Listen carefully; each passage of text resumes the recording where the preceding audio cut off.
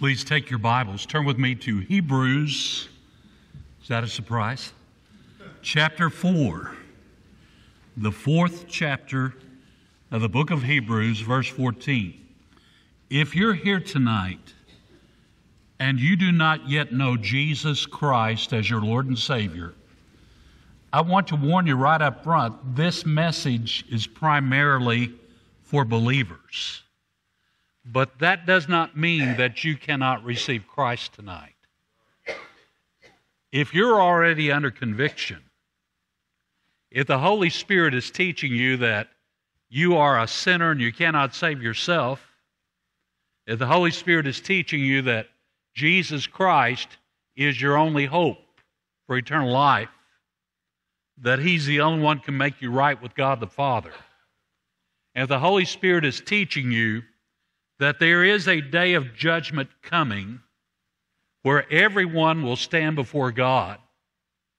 And those who do not know Him will be separated from God eternally. That you will not go to heaven if you do not know Jesus Christ personally.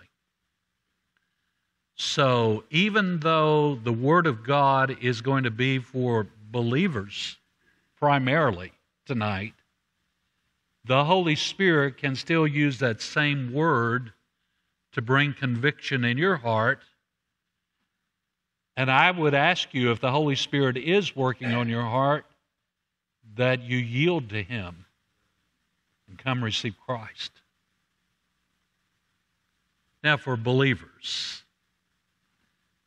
Hebrews chapter 4, verse 14. Seeing then that we have a great high priest who has passed through the heavens. Now, we've talked about that great high priest. Give me just a moment here. Our great high priest is full of mercy and faithfulness. He meets the two criteria to be an effective high priest. He passed the three tests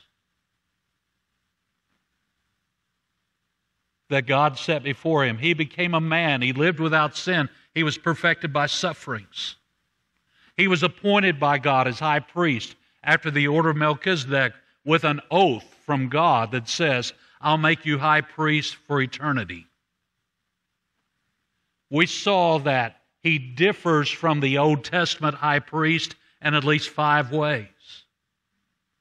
We've seen that he was both the first goat and the second goat. His blood was shed for our sins. His body was the sin bearer, that not only were we forgiven our sins, but our sins were removed, and he is our propitiation. And we saw four things that the Lord is doing even this moment in heaven. He is our great high priest. He's passed through the heavens. His name is Jesus, the Son of God. But I want you to focus in on the next two words. They're short words, three letters, two letters. Let us. If there's ever a time in the history of the United States of America when these two words were desperately needed, it's today. It's talking to believers. Let us. Unfortunately, in our nation, we have grown up with the teaching, and it's a good teaching, it's not a biblical teaching, but it's a good teaching. It's the teaching that because I'm an American, I have rights. And everything in America deals with the individual. I have my rights, you have your rights. But in the kingdom of God, we accept Christ individually. But when you receive Christ, you become family. When you receive Christ, you become part of God's kingdom. And in the kingdom, it's the king who is king, not the people who are kings.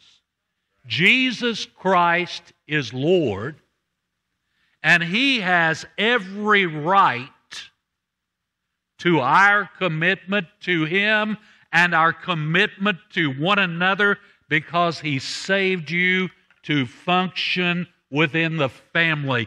There's no place for the Lone Ranger in Christianity.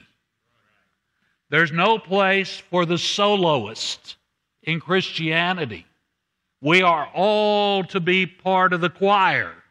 We're all to be the people of God who take the marching orders of God and take the Great Commission. And so we need to realize that the Word of God says, let us do what? Let us hold fast our confession. We won't take time to turn there now, but if you were, were to read in chapter 10, you would find that these believers, many of them had been persecuted, many of them had lost their homes because of persecution. Many had lost their jobs because of persecution. Many had been thrown into prisons because of their persecution. But in spite of the terrible times that they went through, the Word of God teaches that they were to bind together and never stop professing Jesus as Lord. We're living in a nation that increasingly is saying that we don't like Christians. Christians are politically incorrect.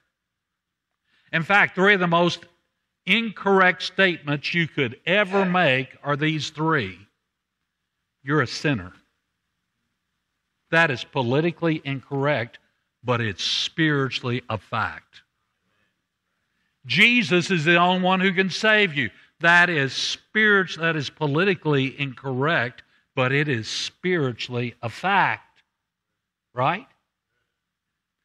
And if people die without Jesus, they're going to hell. That is politically incorrect, but it is spiritually a fact.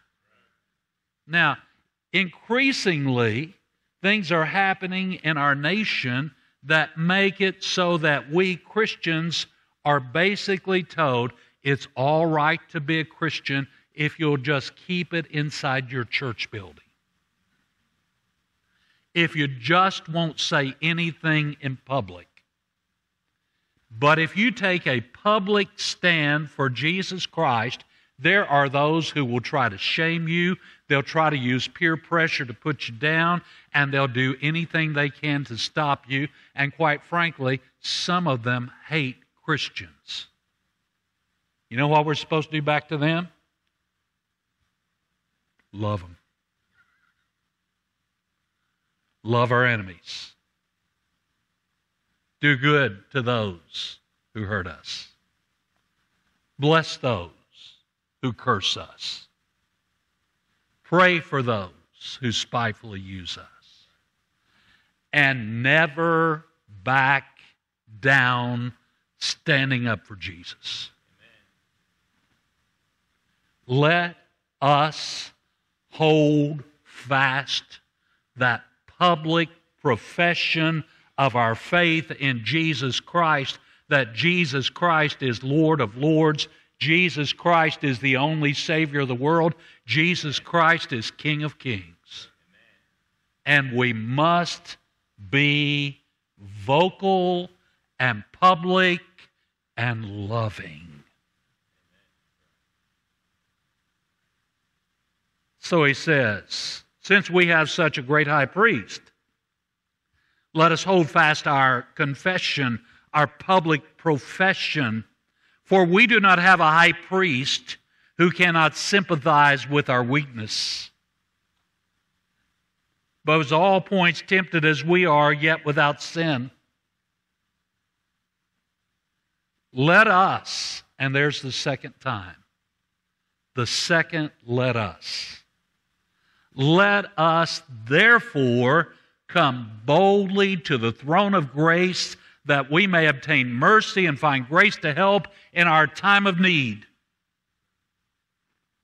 COVID has done great damage to churches all across our nation, all across the world, but all across our nation. Churches have been operating far less than half capacity. Churches have been dwindling. One of the sad things about COVID comes from something that was good. It was really good that we got to put our services online. It was really good that we started putting those online so people at home could hear the Word of God and see the worship. And that's a great thing. But I'm having pastors tell me as I go to churches, I can't get my people to come back to the house of God. They've gotten so used to watching on TV that they're not coming back to the house of God. And I want you to know something those who cannot come back, I totally understand. Those who have such underlying health problems, that COVID could just destroy their lives. I totally understand. But quite frankly, a lot of folks can come back that aren't coming back.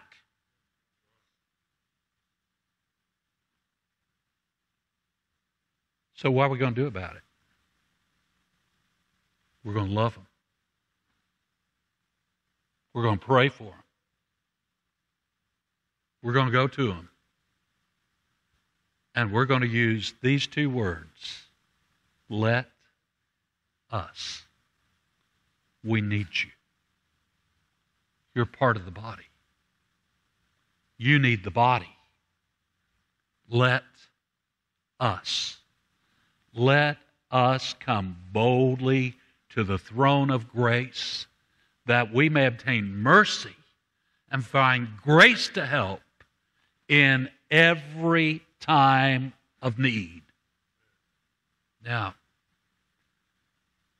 the Lord let me start this ministry 16 years ago. And in the first 15 years, I never had a single church request that I do a conference on prayer. I did three or four conferences on prayer because I suggested it to churches.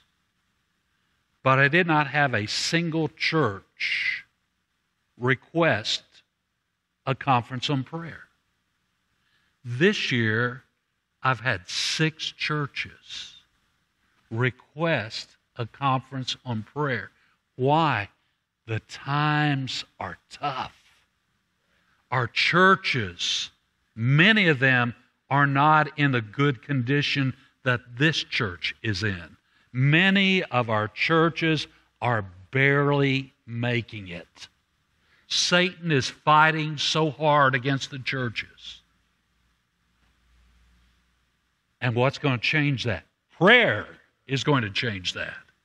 We have to come boldly to the throne of grace in every time of need and realize we have a great high priest in heaven who's interceding for us, and he is the head of the church, and he loves his church, and he will bless his church, and he will empower his church. But we need to be praying for our churches. Go with me to chapter 10, verse 19. Hebrews chapter 10, verse 19. Therefore, brethren, having boldness to enter the holiest by the blood of Jesus, isn't that great? When you pray, your spirit, your words go all the way to the third heaven. Now, the first heaven's where the birds fly in the heavens.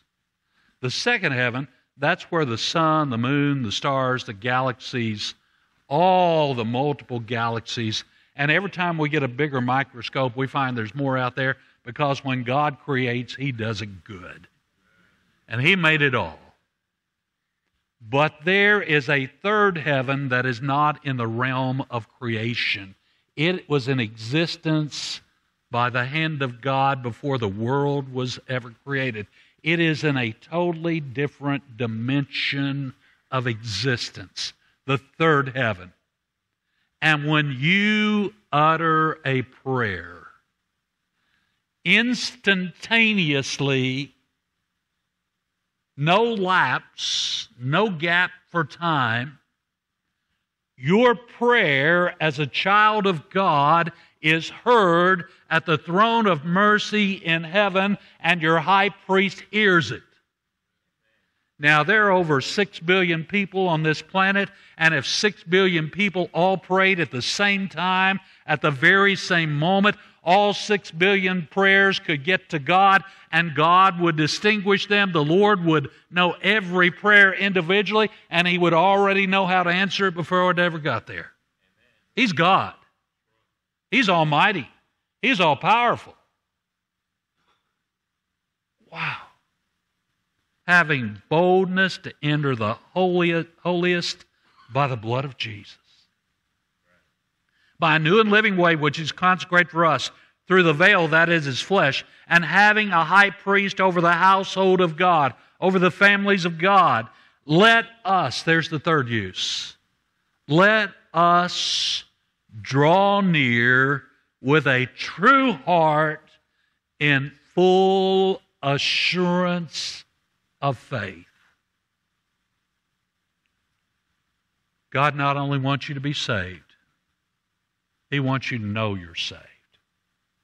But God not only wants you to be saved, and not only does He want you to know you're saved and have full assurance, He wants you drawing near to Him.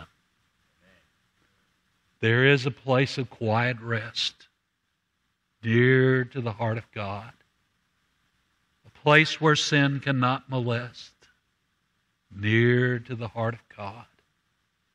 O Jesus, blessed Redeemer, sent from the heart of God, hold us who wait before you near to the heart of God. And when you spend time in the Word, and when you spend time in prayer, and when you allow the Holy Spirit to work in you, you can get near to God. And folks, we need churches full of people who stay near to God. Let us draw near with a true heart, in full assurance of faith, having our hearts sprinkled from an evil conscience and our bodies washed with pure water. Let us hold fast the confession of our hope. Now, this is very similar to the first let us. The first let us was let's hold fast to our public profession. But this one is let us hold fast to our profession of hope. Love that word, hope. In the Bible, hope is never a wish, hope is never a pipe dream, hope is never a fantasy. Hope is that firm assurance that Jesus Christ will come again one day as our blessed hope. Our hope is built on nothing less than Jesus' blood and righteousness, and our hope one day will return. And Hebrews chapter 6 says, Our hope is like an anchor of the soul. It's like one end of the anchor is anchored in heaven, and the other end of the anchor is anchored in your spirit and your soul. And the older you get and the closer you come to death, the closer you're getting to heaven. And when you die, you're going to be taken immediately to be with the Father. And hope can get you through anything. It's those who are without God who are without hope. But anybody that has Jesus as Savior, anybody that has Jesus as great high priest, our hope is secure. Amen? And we need to let the world know everything is not hopeless. Man can never fix this place. But praise God, Jesus will. We have hope. So let us hold fast the confession of our hope without wavering, for he who promised is faithful. And let us consider one another in order to stir up. In the King James Version, it says to provoke. Have you ever provoked anybody? Yeah? To provoke one another to love and good works. Now that means God is not satisfied just if I love people. God is not satisfied just as I, if I do good works. God is not satisfied if you love people and do good works. He wants you and me stirring up other people to join us and love people together and do good works together because it's let us. You know, in a marriage, that's part of what a marriage is. Husband and wife that love the Lord, and they stir each other up to do good works that please God. That's what it ought to be. And so it says, Let us consider one another in order to stir up to love and good works, not forsaking the assembling of ourselves together, as is the manner of some. Why were they not meeting together in those days? Persecution. And God's Word says, don't quit meeting together in times of persecution. Keep on meeting together. We need to be with brothers and sisters in Christ. And being with God's people as we meet to worship God is essential for our testimony in a lost and dying world. So, not forsaking the assembling is another let us. Let us not forsake the assembling of ourselves together as the manner of some is, but encouraging one another, exhorting one another, and so much the more as you see the day approaching. I don't know when the Lord's coming back, but till then, this is what we're supposed to be doing. Go with me, if you will, to chapter 12, verse 1. Chapter 12, verse 1. Therefore, we also, since we're surrounded by so great a cloud of witnesses, like all those Old Testament saints in Hebrews chapter 11, let us lay aside every weight and the sin which so easily ensnares us. Now, I'm not asking for public confession right now. I just want you to be honest with yourself for a moment. There are certain sins that never tempt you. Isn't that right? Some people are tempted to certain sins that you're not. Right? But there are certain sins that do tempt you. And not everybody's going to be tempted by those same sins. But we all have sins that easily beset us. Do you know what yours are? Sure, you do. Unless you're a narcissist. Right? You know what your sins are. Does Satan, do the demons know what your sins are? Have you ever noticed that when you try to turn away from that sin, You start doing real well, and then bam, bam, bam. Temptations you hadn't faced anything like in a long time will show up to tempt you to yield to those sins. Isn't that right? How do you lay aside the sin that so easily ensnares you?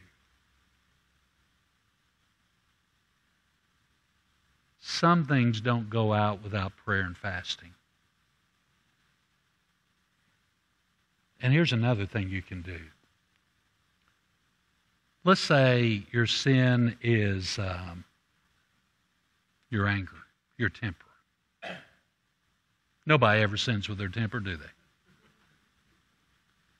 But if your sin is your temper, wouldn't it be a good thing to study what the Word of God says about anger? And wouldn't it be a good thing to find the verses in Scripture that deal with your kind of anger? And wouldn't it be a good thing to write those verses down and carry those verses with you?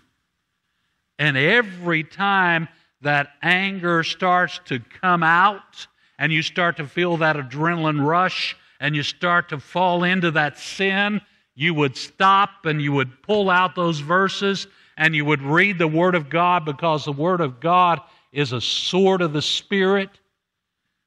And then you would pray and say, God, I need you you come boldly to the throne of grace in your time of need, and you'll find mercy and grace to help you. But if you don't plan ahead, it will surprise you and you won't deal with it. And then you will be so miserable that you sinned because it will grieve God's Spirit. Isn't this true? Let us learn how to lay aside the sin that so easily ensnares us. And another let us. Let us run with endurance the race that is set before us, looking unto Jesus, the author and the finisher of our faith, who for the joy that was set before him endured the cross, despising the shame, and is set down at the right hand of the throne of God. Jesus had a race to run. He had to leave heaven, become a man. He had to live a sinless life. He had to be perfected through sufferings. He had to die and bear our sins on the cross. He had to rise from the dead and conquer death and hell and Satan. And he had to go back to the Father to complete that race. Well, He's given you a race. Your race is the life that God desires you to live this side of heaven. And every one of us are called to run with perseverance and run with endurance the race that's set before us. You say, Well, I don't know what I'm supposed to do. Let me tell you. First thing you're supposed to do is get into the Word of God and start learning how to pray and start learning how to become like Jesus. And if you'll do that, the Holy Spirit will start telling you what to do. And you'll know what race to run. Now, you won't know what you're going to be running next year because we walk by faith, not by sight, and He'll show you every day where the race is going to turn. But you walk by faith. So let us run with endurance, just like Jesus, keeping our eyes on Jesus. And let's do it for the same reasons he did for the joy that was set before him. What was joy? That joy. Twofold.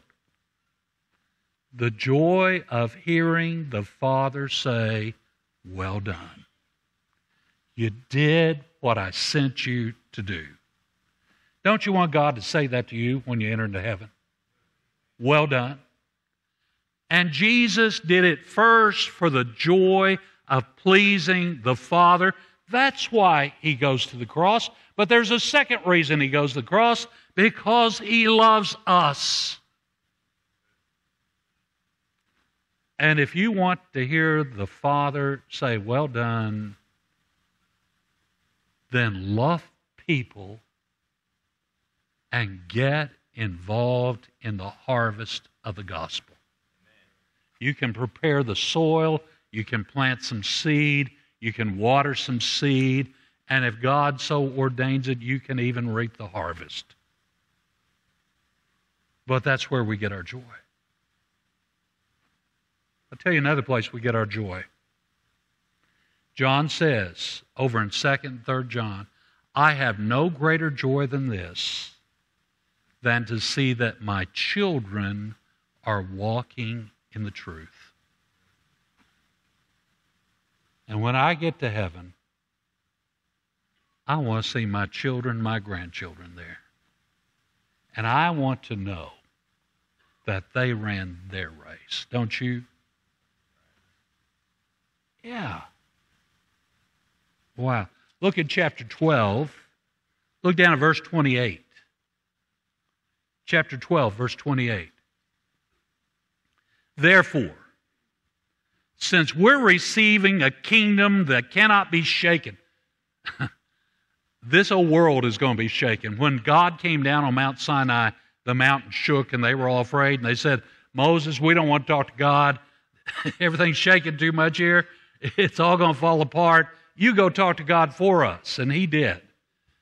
But it tells us that when the end times come, this world is going to be shaken. It will not be destroyed by water, it will be destroyed by fire, and the elements will melt with a fervent heat, and the whole world will be shaken and destroyed.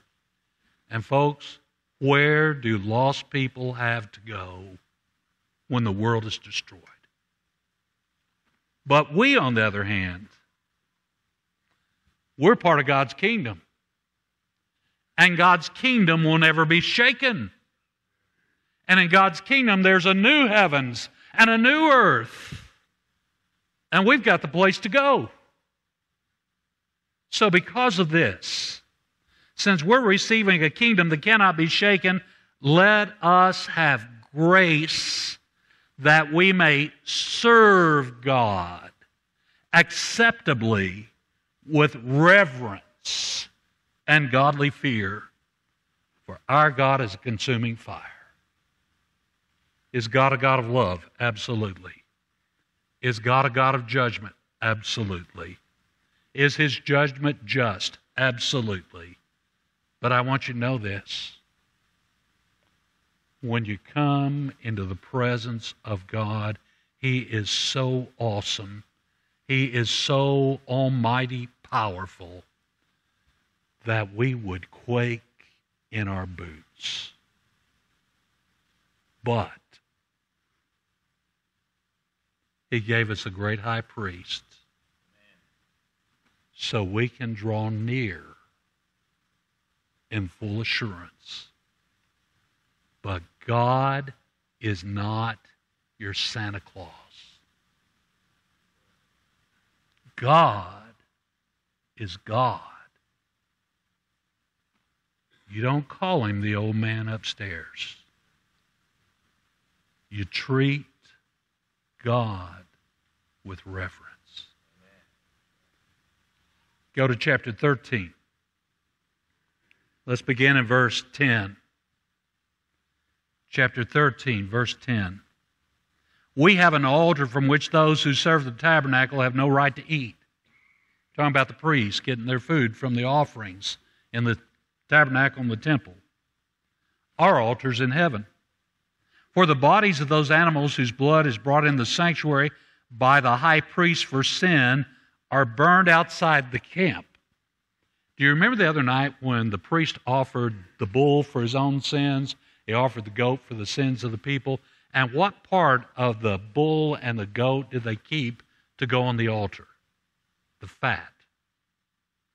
The rest of the carcass was considered useless, worthless.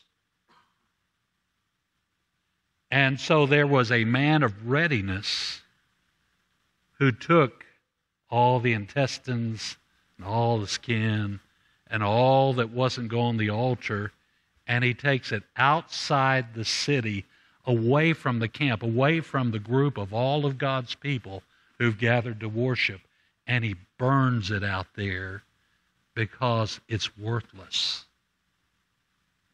But read on. It says, Therefore, Jesus also, that he might sanctify the people with his own blood, he suffered outside the gate. Now, are you getting this? When Jesus was put to death, he was not put to death on the bronze altar in the temple. He was not put to death inside the city walls of Jerusalem where all the nation has gathered for Passover. When Jesus was put to death, they took him outside the city walls like he was the worthless leftovers of the sin offerings, and that's where they crucified him so that he would be shamed. Now, the Romans were shaming him because that was their first intention of crucifixion.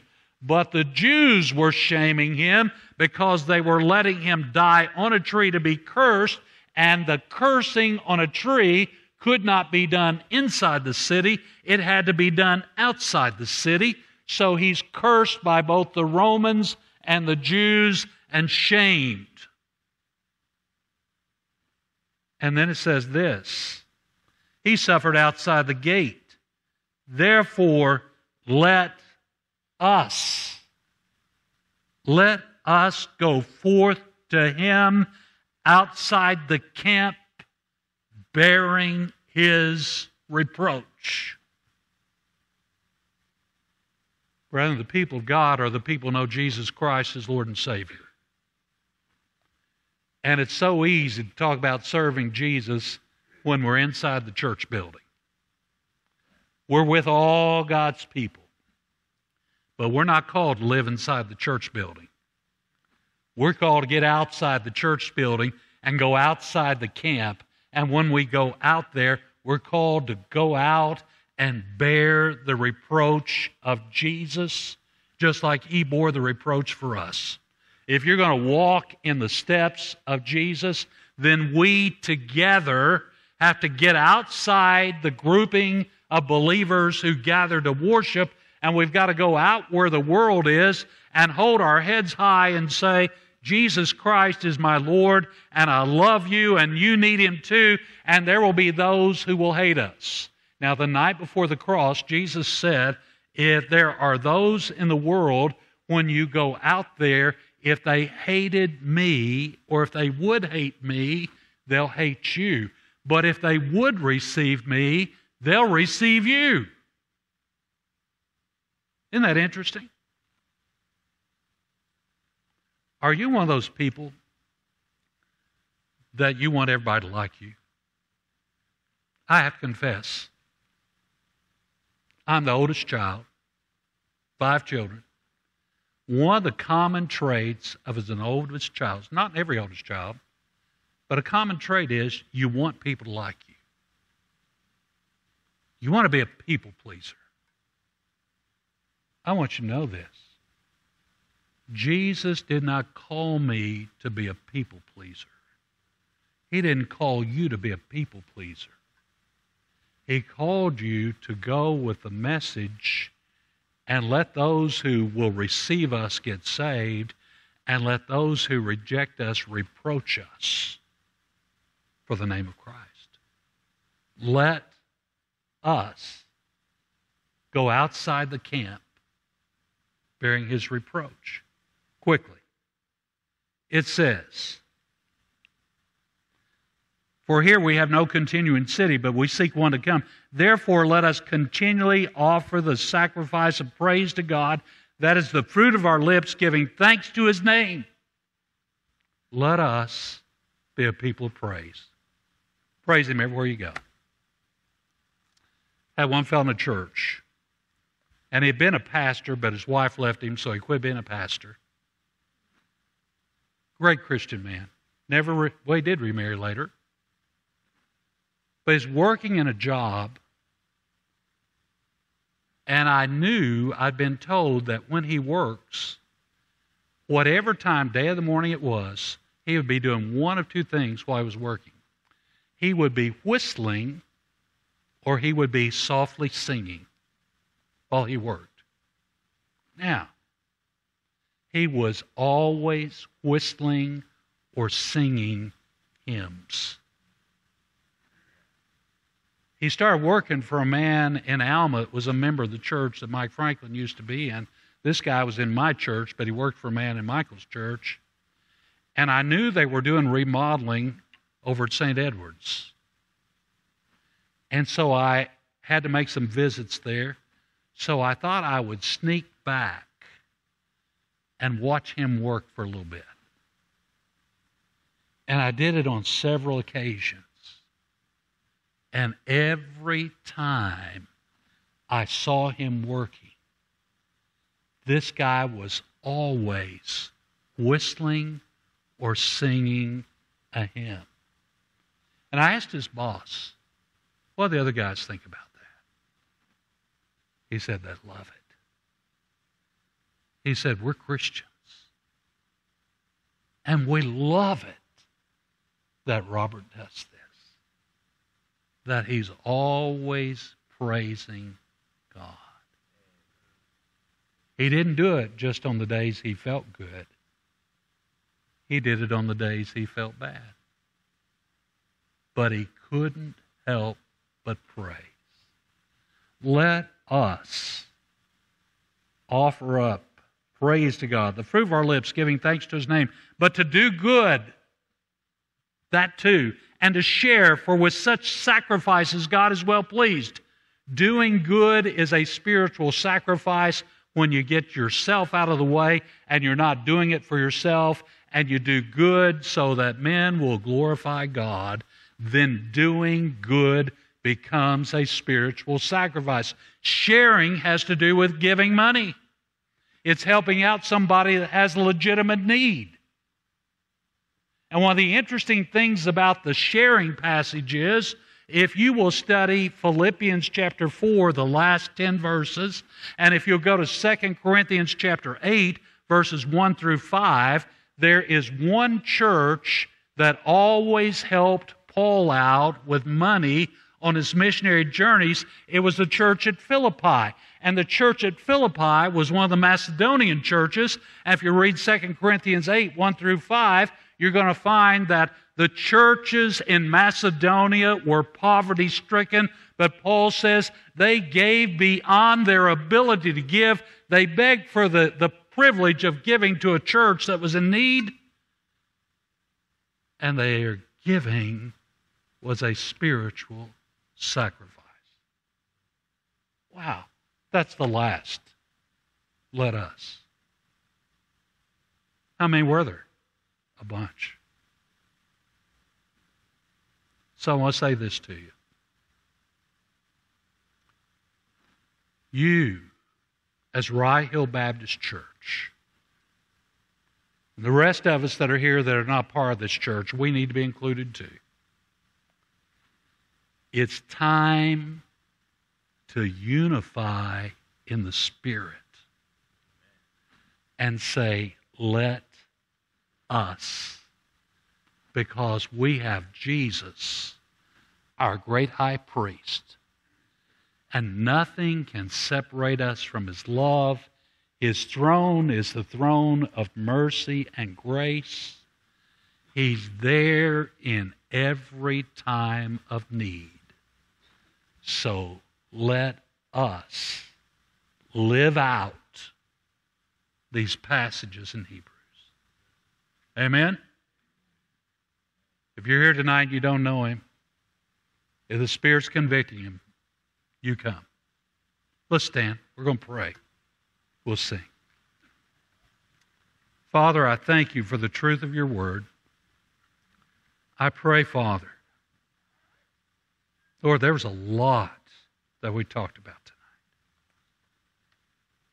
Lord, I pray that your Holy Spirit would put in the minds of each individual believer here, especially those let us things that we individually need to work on. The Lord, help us to love one another and encourage one another and work with one another. Lord, bless this invitation. In Jesus' name we pray. Amen.